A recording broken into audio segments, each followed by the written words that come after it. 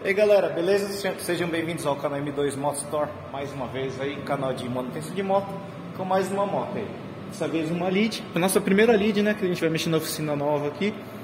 Ah, lembrando que esse canal é de manutenção de moto, não é de, de escola de moto, não é de escola de mecânica, não ensinamos a fazer nada, tá? Não temos o compromisso de ensinar nada. Talvez a gente até ensine, mas não é a ideia do canal. Então, aqui é a primeira lead da, da, da oficina nova aqui veio aqui para fazer uma manutenção, uma, uma, manutenção preventiva no CVT, a gente verificar como é que está o estado da correia, roletes, né? Rolamentos, rolamentos aparentemente, pelo que eu vi, está roncando. A gente vai desmontá-la e ver. E fazer a suspensão dianteira, que o dono falou que está dando final de curso.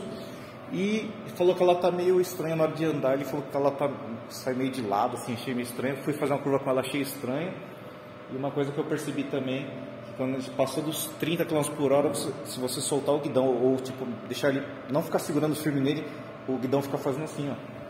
Fica fazendo assim, é até perigoso, tá?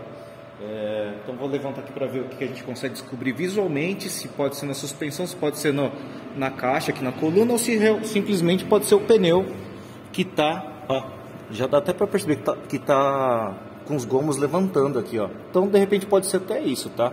Mas vamos tentar analisar que esse pneu já tá, é original desde 2013 e já está na hora de trocar.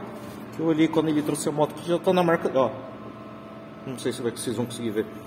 Já está no TWI aqui, ó. Já tá, isso aqui já é, já é passível de multa e apreensão da moto, tá? Então, já avisei para ele que seria bom trocar porque já está vencido e já está no TWI também. Então, talvez vocês consigam ver aqui, ó, o pneu já está deformado, ó. Tem uns, você vê que ele não é lisinho, é, não vamos dizer lisinho, vai, não vai dizer reto, mas que ele tá, tem umas ondulações aqui, ó, os gomos vão levantando. É mal desse pneu aqui mesmo, tá? Do, do Pirelli, seja da Pirelli ou da, da Shinshin Tire aqui, ou como o pessoal mais conhece, é como CST, tá? Que quer dizer Shinshin Tire? Que é a proprietária da, da Pirelli da Metzeler, que eu ouvi falar que já foi, já virou marca também, mas aí eu não, já estou desatualizado. Então, é, começar a desmontar aqui a moto. Não se esqueça aí de. Vou soltar mais vídeos dela. Não se esqueça de se inscrever no nosso canal, clicar no sininho para receber notificações, ficar aqui no cantinho, dar um joinha e talvez até comentar alguma coisa lá, tá? Então daqui a pouquinho vocês vão ver mais é, sequências do vídeo da, da manutenção dela.